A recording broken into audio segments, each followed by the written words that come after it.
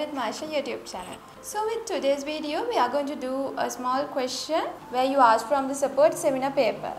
Okay, so I hope uh, by now you have uh, received the support seminar paper from your school. So without taking much time, let's go to the question and remember, you have to take a pen, paper and be ready for the question. So as I say you every day, before starting the question, read it properly and then do the question. Once after that, you all can play the video and check your answer. Don't just copy the answer that I am giving you. You all have to do it first and then only you all have to check the answers. Okay? So I hope by now all of you might have uh, subscribed to our channel and don't forget to click the bell icon near there and you can send your important comments, ideas, your suggestions through our comment box. And don't forget to like our video and to share with your friends. Okay, so without taking much time, let's go to our So question.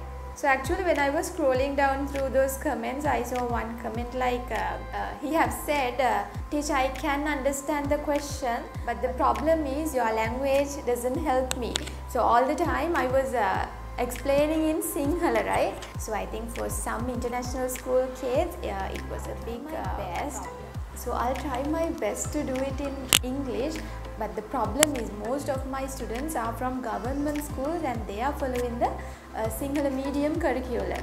Okay, so that's why I am explaining it uh, with so like that. I really appreciate that comment. Because of that comment only, I thought of doing this uh, lesson actually the video in English okay? So kids I took this question from 2021 O level support seminar paper. So I hope uh, you have received this 2021 O level support seminar paper from your school. So before you go to O level it's better if you can uh, practice this paper and go. I saw all the subjects were there and the marking schemes also were there so it's better you can do it alone and go through the answer script and check out your answer. So most of the kids uh, said that this question was a bit confusing but I went through this question. It's super easy right? So this is a Pascal question. So they have given a program name as myPRG. Here they haven't mentioned the input output part. It's okay. You can continue the code without the input output part. It's not a big problem right? Don't make it an issue. And remember, it's not a printing mistake as well. So I received many uh, messages through WhatsApp and you all were asking me, teacher, whether this is a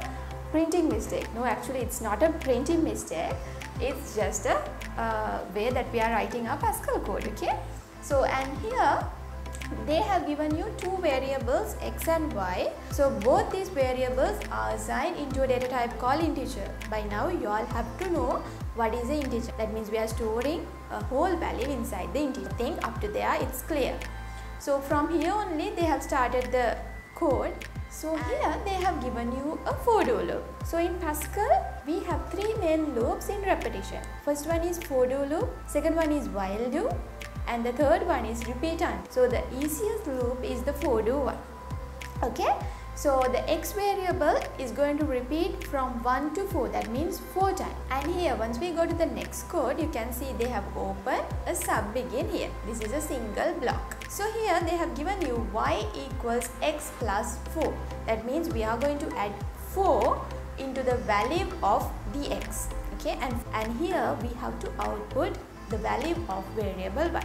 So you can't do it at once actually. In my other videos also I think you have seen I have explained you what to do once you get a Pascal code and once they are asking you for output. Okay. So as the very first step what you have to do is you have to create a small table. That means you have to get a rough idea about the question. So it's better before taking the output take a small table and note down all the things that you know about the code. Okay. So I'm going to uh, do a small table like this and I have two variables both have values so I'm going to take x here and y will be this.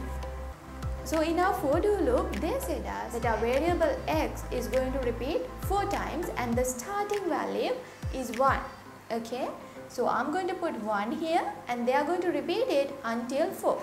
So that means our x is going to repeat 4 times 1, 2, 3, 4 okay so I took all the values for x. Now I have completed x. I hope no doubts about x now. And you come to the next block. They are saying you y will be equal uh, to x plus 1 that means you have to add 4 into the current value of x. So if I write it like this y equals x plus 4 currently we are having 1 as the value of x okay? And we are going to add 4 into this. So y will be 5 right so as the first value i'm going to put 5 okay i think the first one is super clear and then here they have given the value of 2 for x okay? So now i'm going to delete this. So what will happen if you uh, add 2 to 4 it will become 6 right? So likewise you have to add 4 for all the values of x so if you add 4 here to 3 it will be 7 if you add another 4 for this 4 it will be 8 so finally you will be getting values as 5 6 7 8 but there is a problem. Now this is the main point that you need to consider about this question. So look at it carefully right? Here they are giving you the output as a write line. Now you know the meaning of a write line. They are telling you to take the value uh, with the write line reserve word. What you need to do is you have to separate each and every output line by line. Okay, it's like this, right? First, you are going to take the output as 5. Okay, so you are using the write line command here. So what will happen is your next output should go into the next line.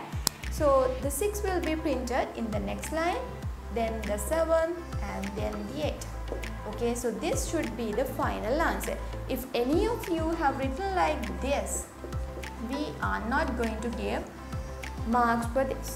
Okay, if you have a write here, that means you if you have a write command or else a write reserved word here, you can manage with this but you have write line so what you have to do is you have to separate it line by line okay so this question is not hard right? It's a super easy question.